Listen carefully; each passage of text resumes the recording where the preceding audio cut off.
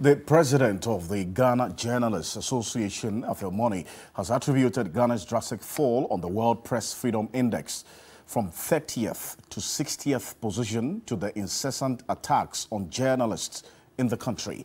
Speaking at an event to mark World Press Freedom Day, he insists it is high time perpetrators of such violence are made to face the full rigors of the law reported cases, torture, and abuse of the rights of journalists in Ghana has increased significantly in the past decade.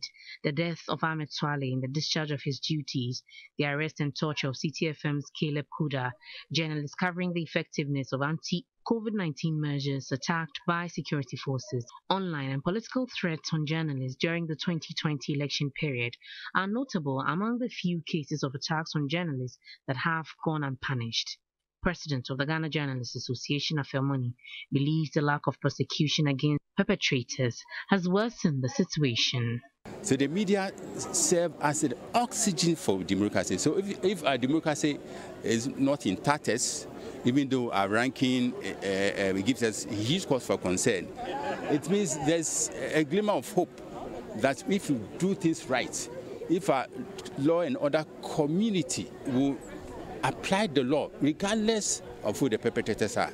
There have been endless calls on government to ensure the safety of journalists in the discharge of their duties, but Deputy Minister for Information Fatima Abubakar believes passage of the broadcasting bill will address such issues. Acts of some overzealous policemen in handling some cases of journalists suspected to be involved in crimes are not the doing of government. Government, however, acknowledging that these events negatively affect Ghana's ranking, has instituted the Coordinated Mechanism for the Safety of Journalists, run by the National Media Commission, so that some of these issues can be addressed. Government is putting in the necessary steps, including taking input from technocrats and industry experts to facilitate the passage of the broadcasting bill. Chairman of the National Media Commission, Yaw Boadu Ayeboafo, while pleading with Ghanaians not to use force in matters of free speech, admonished media practitioners to exhibit professionalism at all times. Any one of us can say whatever that we want to say, and nobody should prevent us from doing that.